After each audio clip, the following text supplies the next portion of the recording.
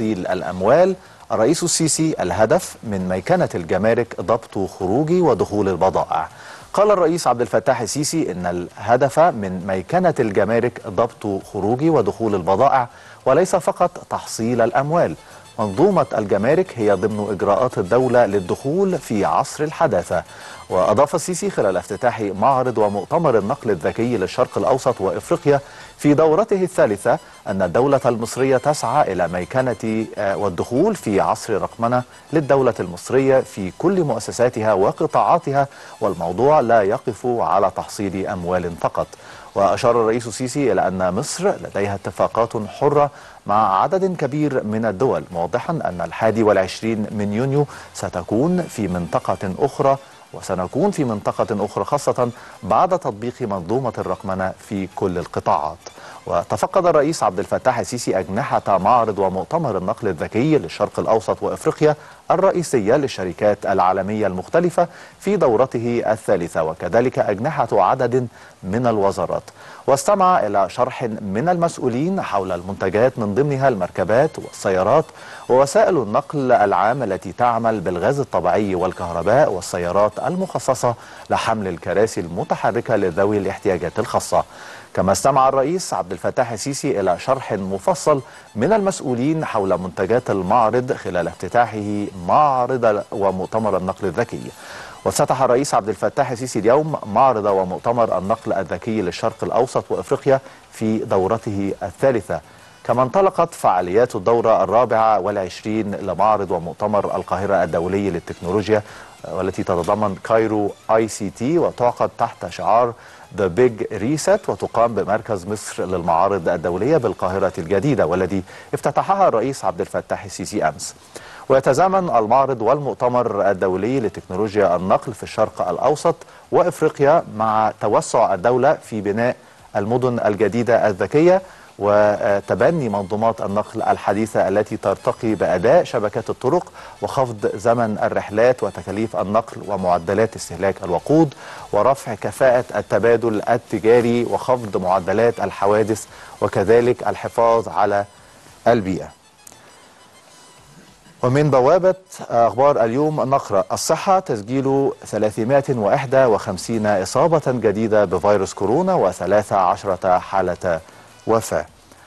أعلنت وزارة الصحة والسكان خروج 98 متعافيا من فيروس كورونا من المستشفيات وذلك بعد تلقيهم الرعاية الطبية اللازمة وتمام شفائهم وفقا لإرشادات منظمة الصحة العالمية ليرتفع إجمالي العدد المتعافين من الفيروس إلى 101881 حالة حتى أمس وأوضحت وزارة الصحة أنه تم تسجيل 351 حالة جديدة ثبتت إيجابية تحاليلها معمليا للفيروس وذلك ضمن إجراءات الترصد والتقصي والفحوصات اللازمة التي تجريها الوزارة وفقا لإرشادات منظمة الصحة العالمية لافتا إلى وفاة 13 حالة جديدة.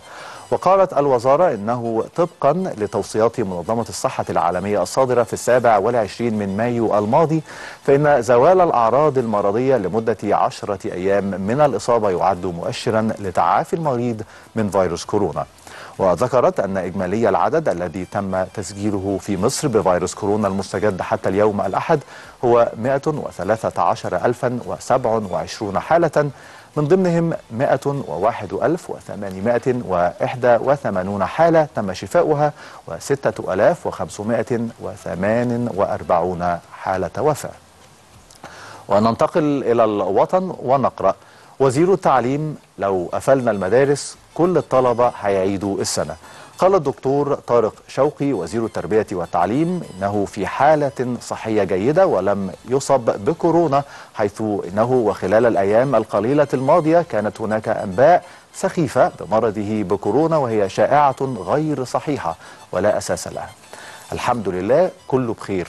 وأضاف شوقي أن الوزارة دائما ما تحصل على الآراء من قبل كافة المعنيين بالقطاع الصحي من الحكومة المصرية ولجنة إدارة الأزمات التابعة لرئاسة الوزارة حيث أن الوضع الحالي لا يقود لأي قرار بخصوص الإغلاق.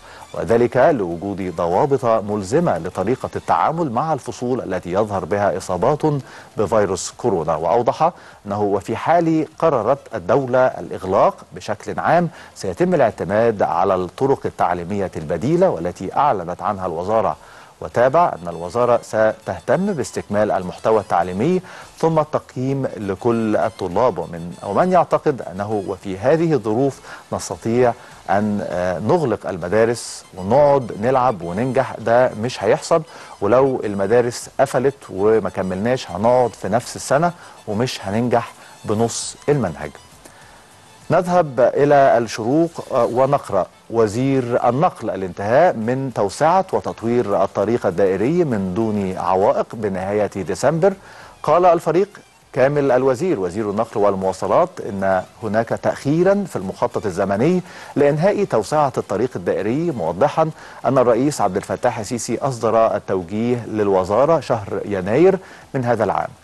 وأضاف الوزير أن الرئيس يريد إنهاء الموضوعات في وقتها والتغلب على كل العوائق لافتا إلى إنجاز التوسعة لما هو متاح من دون عوائق من كابلات الكهرباء ومواسير المياه وكابل الإنترنت وفي أقرب وقت. وأشار إلى أن توسعة الدائري تشمل تنفيذ طريق خدمة لحركة المواطنين من الشوارع الجانبية متابعا أنه سيتم الانتهاء من توسعة المناطق من دون عوائق بالدائري بنهاية شهر ديسمبر. ولفت وزير النقل إلى نهاية الأعمال لآخر جزء من الطريق الدائري بحلول ديسمبر لعام 2021 معلقا الأمر ليس سهلا ومقتنعون أننا نبذل قصارى جهدنا ونعمل اللي علينا ونعمل ليل نهار. وذكر أن الرئيس عبد الفتاح السيسي والدكتور مصطفى مدبولي رئيس مجلس الوزراء يتابعان عمل الوزارة يوميا مضيفا كل مواطن من حقه يتابعنا ومستعد إن حد يجي يسألني عن الخطط ويقول لي أنت جبت الفلوس منين. ومن موقع مصراوي نقرأ معاش مدى الحياة وكشك.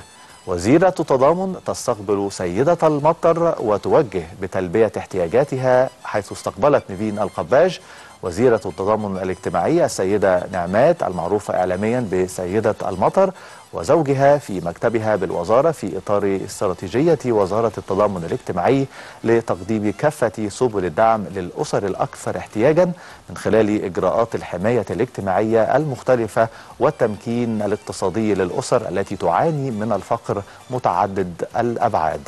واستمعت وزيرة التضامن الاجتماعي لمطالب سيدة المطر وزوجها حيث طلبا العودة إلى قريتهما في بني سويف حيث يتوفر لها مسكن بأسرة وزوجها. ووجهت الوزيرة برفع كفاءة المسكن وفرشه كما شددت على إجراء بحث بحث لحالة الأسرة وقررت القباج أيضا تقديم دعم نقدي للسيدة نعمات تبلغ قيمته 600 جنيه شهريا بالإضافة إلى توفير مشروع تربية دواجن بقريتها في بني سويف بقيمة 5000 جنيه وتوفير علاج شهري لها. كما قررت الوزيرة تحمل إقامة مشروع كشك لزوجها بتكلفة تبلغ 20 ألف جنيه في قريته بمركز الفشن ببني سويف بقيمة 5000 جنيه وصرف 600 جنيه له لمدة ثلاثة أشهر لحين نجاح مشروعه بالإضافة إلى إجراء كشف طبي كامل عليه. ومن اليوم السابع نقرأ الزراعة منح ثماني ثمانية وخمسين ألف رخصة للإنتاج الحيواني والداجني وتؤكد سبعون بالمئة منها العام الجاري وواصلت وزارة الزراعة واستصلاح الأراضي التوسع في موافقات تراخيص تشغيل مشروعات الثروة الحيوانية والداجنة والعلفية من خلال تسهيلات قطاع الثروة الحيوانية والداجنة للحصول على موافقات التشغيل ضمن خطة الدولة للتوسع في الإنتاج المحلي من اللحوم الحمراء والبيضاء والألبان وزيادة المعروض منها في الأسواق والحد من الاستيراد ودعما لصغار المربيين والمشروعات الصغيرة. وقال الدكتور طارق سليمان رئيس قطاع تنمية الثروة الحيوانية والداجنة بوزارة الزراعة في تصريحات لليوم السابع إنه يجري التنسيق دوريا مع مديريات الزراعة بالمحافظات المختلفة للتيسير على المربيين ومقدمي الطلبات للحصول على تراخيص للمزارع وإرسالها للقطاع للتنسيق مع الجهات المعنية للبحث والبث في أحقية الطلبات الواردة مضيفا أنه جرت زيادة أعداد التراخيص للمزارع مزارع الإنتاج الحيواني ومنشآت الثروة الحيوانية بموجب القرار الوزاري 773 لسنة 2017 من 145 مزرعة فقط مرخصة قبل عام 2017 إلى 58 ألف رخصة حتى الرابع من الشهر الجاري. قائلا 70% منها العام الجاري وهناك تراخيص تمنح للمناحل ومزارع الأرانب والتراكيب الوراثية والخيول بكده تكون انتهت جولتنا الإخبارية. هنروح نفاصل ولسه مكملين مع حضراتكم. اوعوا تروحوا في حتة ولكم من